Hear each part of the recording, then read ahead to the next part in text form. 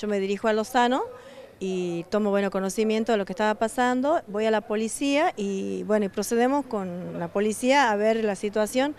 Se efectúa la denuncia y bueno, la denuncia es tomada por los testigos con videos y audios y bueno, eh, ya ahí interviene ya el fiscal y la persona está queda detenida por maltrato animal eh, según la ley 14346.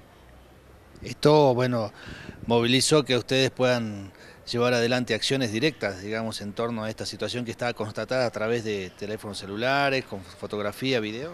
Sí, sí, eh, justamente eh, cuando los testigos van a hacer la denuncia, la policía pide todas estas pruebas que es necesaria cuando uno hace una denuncia por maltrato, eh, fotos, videos y en este caso también tenían hasta audios de cuando se estaba, estaba ocurriendo el hecho y eso es fundamental a la hora de denunciar, de presentar todos estos elementos para que la policía tome la denuncia. ¿Qué tipo de pena cabe en este caso? ¿Ustedes están ya accionando legalmente? Sí, eh, por una parte se aplicó la ley 14.346, que es ley contra el, contra el maltrato animal, y esta ley prevé una pena de tres meses a un año.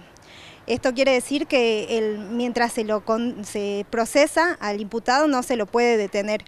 Por eso es que en un primer momento se lo detuvo, eh, hoy salió recién, así que dos días estuvo detenido.